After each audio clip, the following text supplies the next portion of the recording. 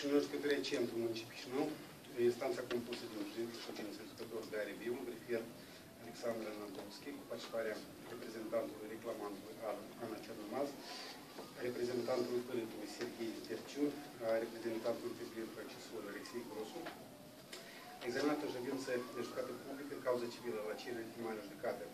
a primăriei municipiului Chișinău către Partidul Patrioții Moldovei, intervenind accesoriul Direcției Poliției Chișinău,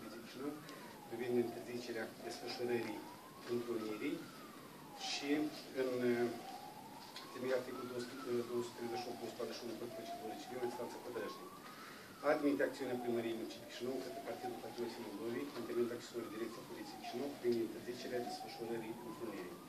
A interzice Partidului Patrioții Moldovei desfășurarea la 19 iulie 2013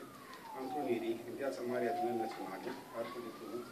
precum și în traseele spre și de la locul întrunirii, strada Puștiu, strada Metropolită Eminescu Bobonic, adică în locurile indicate în declarația prealabilă numărul 85 din 0506-2013. Hotărârea poate fi atacată cu apel în de apel Chișinău în termen de 30 zile prin intermediul hotărârii Centru, municipiul Chișinău. Totodată se dă citire dispozitivul încheierii din 16 iulie 2013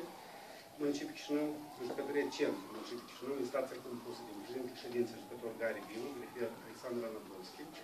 cu participarea reprezentantului reclamantului, Ana Cernumas, reprezentantului părintului Serghei Perciu, a reprezentantului județului accesoriu, Alexei Grosu, examinată ședință de judecată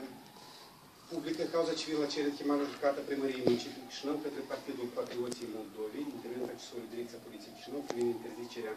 desfășurării întrunirii și în temeiul articolul 268-270 Cod Procedurii Civile, instanța de judecată dispune. Într-o evitare consecințelor civile imediate în legătură cu desfășurarea întrunirii Partidului Patrioții Moldovei, interzis prin hotărârea jucătorii Centru, municipiul Chișinău de 16.07.2013, la cerere de chemare judecată primăriei municipiului Chișinău către Partidul Patrioții Moldovei, intervenit accesoriu Direcția Poliției Chișinău, privind interzicerea desfășurării întrunirii, a dispune executarea imediată a hotărârii nominalizate.